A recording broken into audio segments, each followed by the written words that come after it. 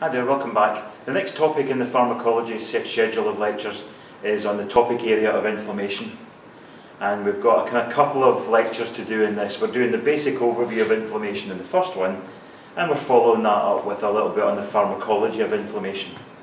Something which we will touch upon in subsequent lectures when we look in a little bit more depth at non-steroidal anti-inflammatory drugs and steroidal anti-inflammatory drugs. So let's just start off by looking through inflammation. Now, this is just a little revision slide taking you back through some terminology that hopefully you'll already be familiar with.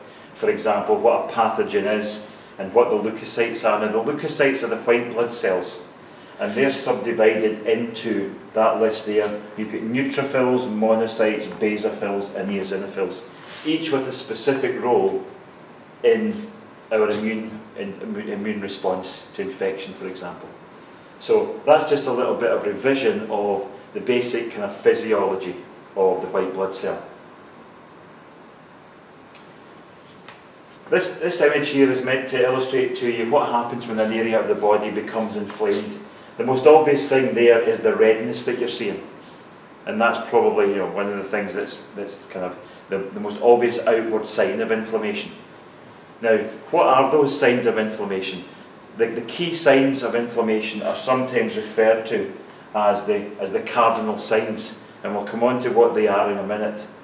Basically, inflammation is kind of what, what exactly what it says on the tin. Yeah, It says it's a non-specific response to tissue damage, and it's caused by a pathogen or some form of trauma or a toxin or a foreign protein. You know, a toxin might be something that's injected in a sting, for example, like a bee sting.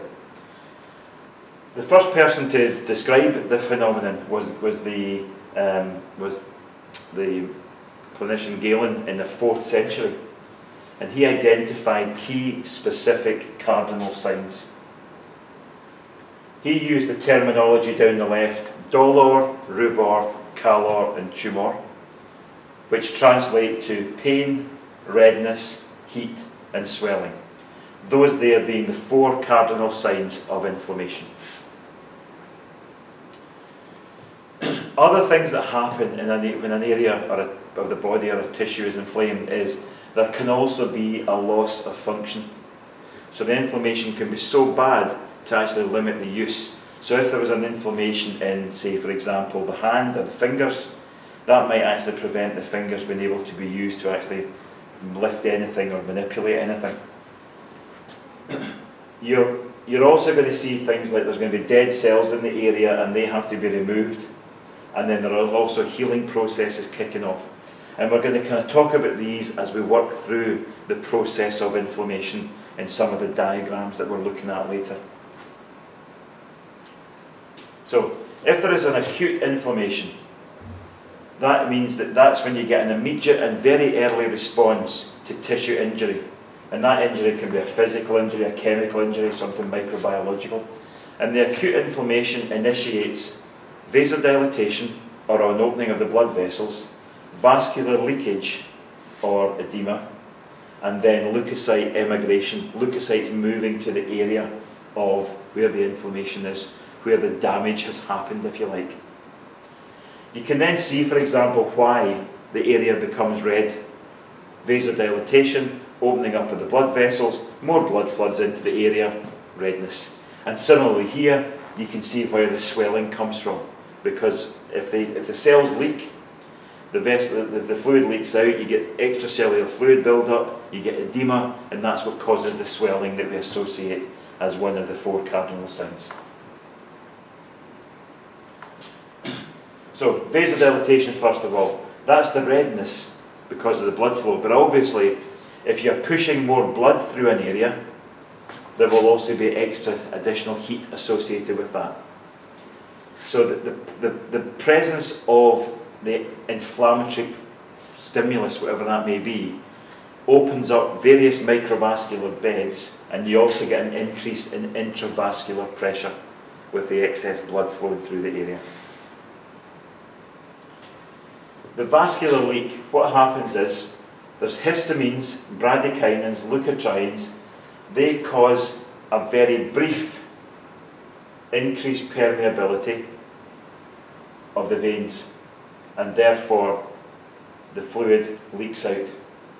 You've also got the cytokines like TNF alpha, interleukin 1, and they actually cause structural changes to the cell or cytoskeletal reorganization. And that also promotes fluid shift to cause the, the vascular leak.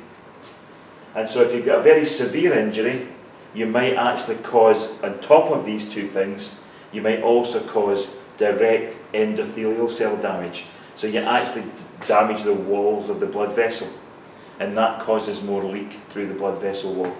So those are the three things that contribute to the vascular leak that ultimately results in the edema and the swelling. So, three things in the previous slide.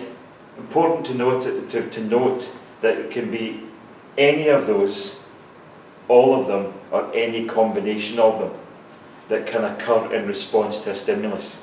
So nicking back a slide for a minute, it's not necessarily all three will happen. It can be any combination of one, any combination of two, all three, or any individual one.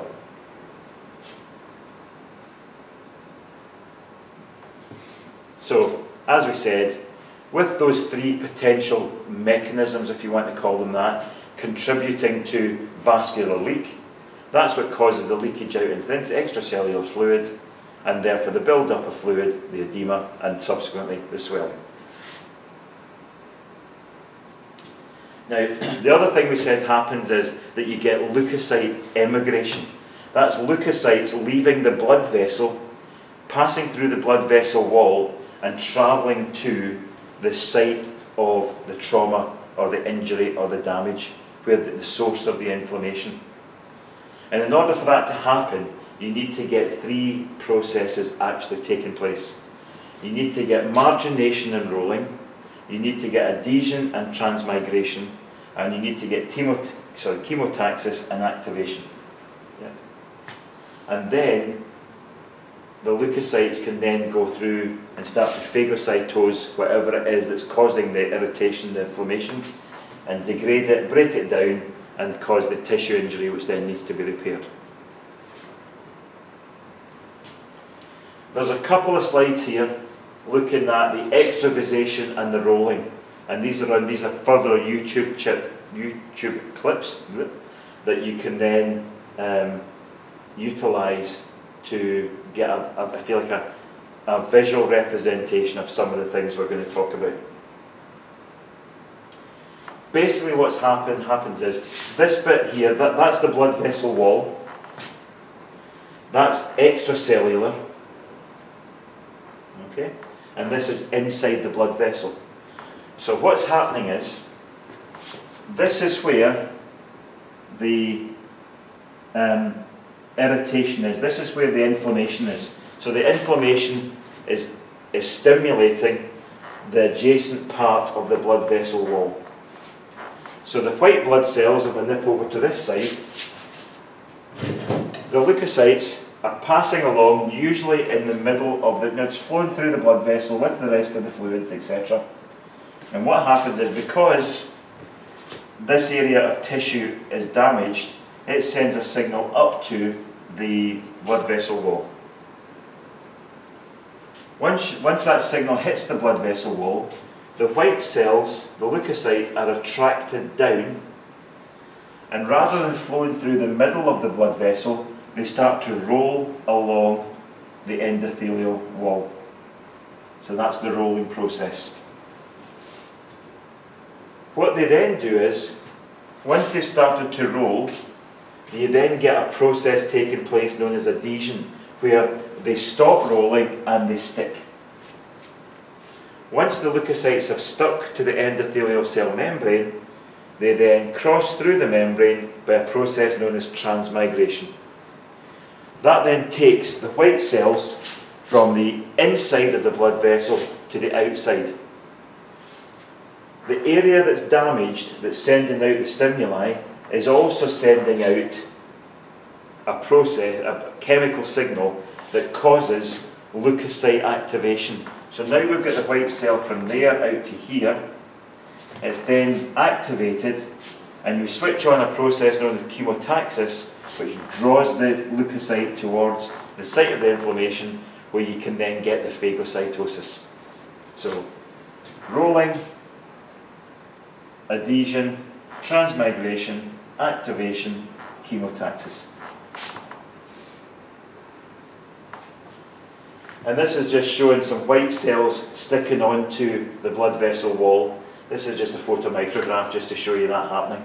So you've got, the, it's very hard to see actually, but they're just catching on here, the, the, the leukocytes. So the adhesion, okay, the, the, endothelial cell has been activated. The endothelial cells in the lining have been activated by a stimulus from the inflamed area. But what actually causes the white cell then to be attracted down, the leukocyte to go from flowing along through the blood vessel to actually coming down and rolling and sticking to the membrane? There are specific receptors that cause this. You've got the selectin, you've got E-selectin, P-selectin and L-selectin. The E-selectin is on the endothelium, the P-selectin is on the endothelium, and the L-selectin is on the leukocytes. And what happens is, that stimulus that comes from the inflamed tissue to the endothelial cells, they upregulate the receptors. And the upregulation of these receptors is what draws the um, leukocyte in and causes the leukocyte to stick with the adhesion process. There are also other adhesion molecules found on the endothelial cells and on the leukocyte. You've got ICAM1, VCAM1, they're found, they're, they're adhesion molecules that are found on the endothelial cells. And then you get LFA1, MAC1 and VLA, and they're found on the leukocyte. If you imagine almost that, they're almost like two bits of, you know, two aspects of a piece of Velcro that are going to stick together. And what happens is the, the LFA and the MAC1, they bind to the ICAM. So these two here bind with that one there. And then the VCAM and the VLA are attracted to each other. And so therefore you get these molecules that are drawn to each other and that causes the leukocyte to actually stick. So these adhesion molecules, these ones are found in the leukocyte, these ones are found in the endothelium. They're attracted to each other and that causes the molecule to stick to the endothelial cell membrane. So again, another little diagram here just to take you through the process. So there's the, there's the, uh, the, the cause of the inflammation. That sends out these stimuli which are called chemoattractants. They're chemical attracting agents. They activate the endothelial cells. That draws the leukocyte down. It then starts to roll then you bring in your adhesion molecules, that causes it to stick. Once it's stuck, you then get the transmigration, the activation, and the chemotaxis. Chemotaxis is, you sometimes see the word locomotion, just to show that that means that you're causing the cell to move. And it's moving to the site where the original stimulus is coming from. And if that was a bacteria that was causing an inflammation, the leukocytes would then engulf the bacteria in the process of phagocytosis break it down, destroy it, and clear it away.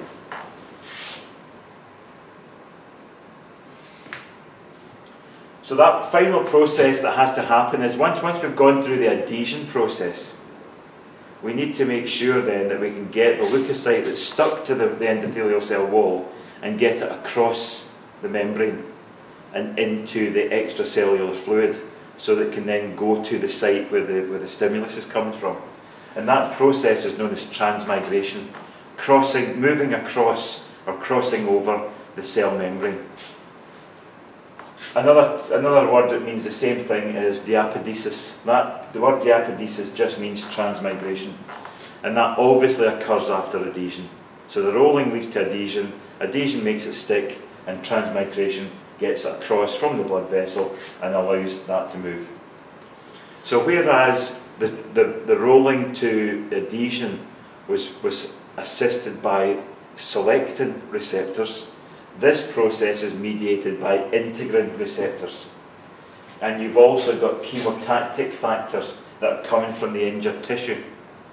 such as interleukin 8 and leukotriene B4, IL8, LTB4. So you've got receptors that mediate the movement, and you've got signals coming from the damaged area, almost like drawing it towards as well to, to promote the process of transmigration. So at the site of injury, we've, got, we've now got the white cells to cross the cell membrane. So within the white cells, we talked about the leukocytes at the beginning, we said there's different types. The first white blood cells to arrive at the site of injury by that process of, of um, you know, the, the chemoattractive, the chemotaxis, the movement, the locomotion, are the neutrophils. Yeah. And what they do is, if it's, say it's a bacterial source of inflammation, they will phagocytose a small number of bacteria before they themselves die off. Now that means that you've then got neutrophils that have broken down and degraded the some of the bacteria, and they themselves die. You get dead tissue building up, and those dead cells are what cause the, the pus or purulent aspect of the infection. That as the cells are injured, they're producing what we call leukocytosis promoting factor, and so therefore that causes the neutrophil count in the blood to rise.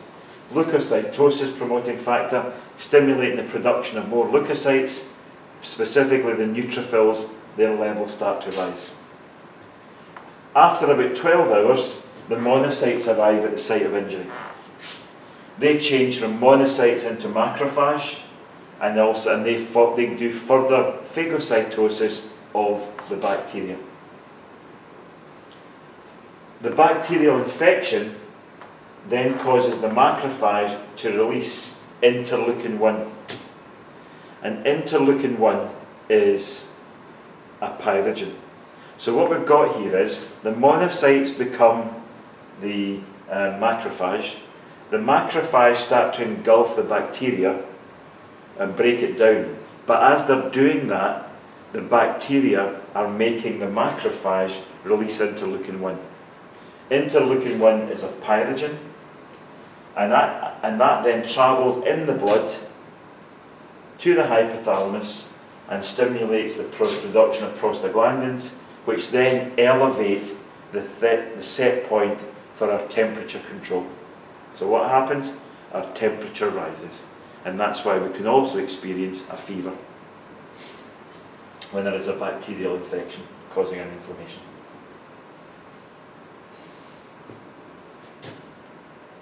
So that process of switching on the leukocytes is known as activation. And once they're activated, that's when they're, that's when they're mopping up the bacteria, if the bacteria are present. And you get the production of superoxide dismutase, which is an antioxidant. The activated leukocytes produce toxic substances that have bactericidal activity. So they are also going to then cause destruction to the bacteria.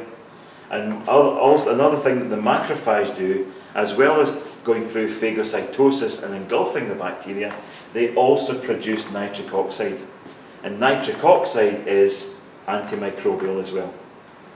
But it's a, but nitric oxide is also a smooth muscle relaxant, which induces vasodilatation, causes an influx of blood, and a, a reddening of the area.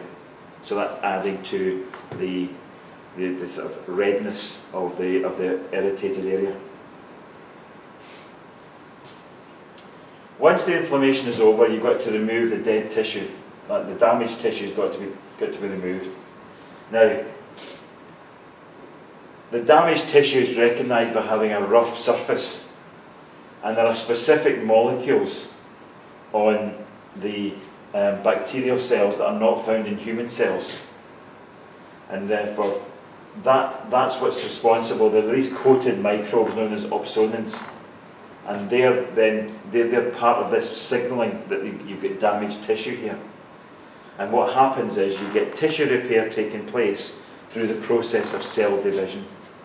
And so the cell division increases, more cells are produced, and you get the formation of tissue over dam over the, in the damaged area, and that's what's responsible for new, new, new tissue growth and also scar tissue being present.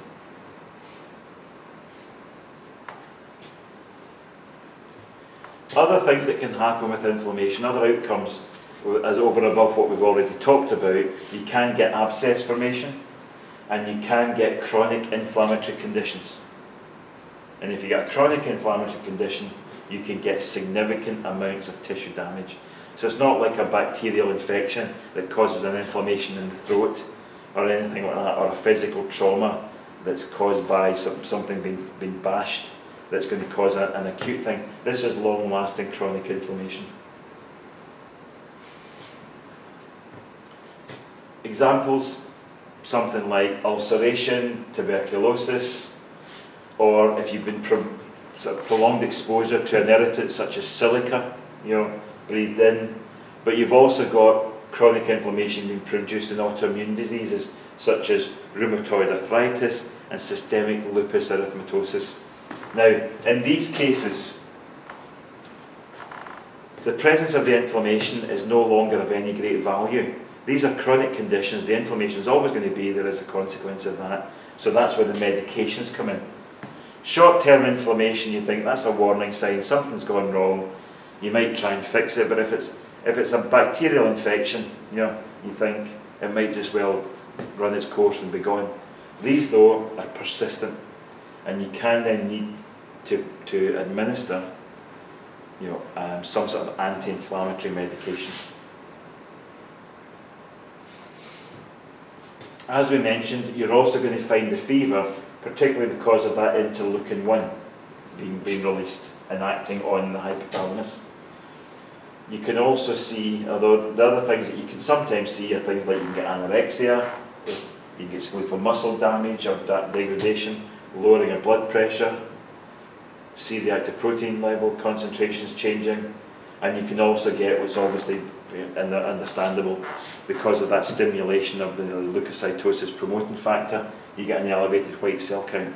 And that's that elevated white cell count over and above the normal level is often what's seen as the, one of the markers for the an infection or, a, or a, an immune response being initiated. Other systemic effects from bacterial infection, parasitic infection, viral infection, all of these things can have inflammatory consequences.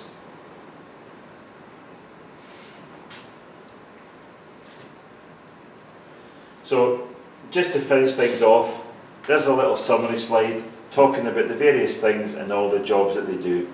And I'll just leave that there as a little reminder of the key aspects of what we talked about. There's a couple of slides there looking at the different things and the leukocytosis and the various things that happen and the various chemicals that are involved. So those last couple of slides are just for you to peruse at your own pace, at your own time. And, but the key thing to take home from today is the key steps that take place in the inflammatory response. You get the rolling, you get the adhesion, you get the transmigration, you get the chemotaxis, and then you get the destruction of the agent that's causing the inflammation. Five different steps, all of which are controlled with, by various chemical signals, receptors like selectins and integrins and so on. So that's the key take-home message what are those five main processes in the inflammatory response? Thank you.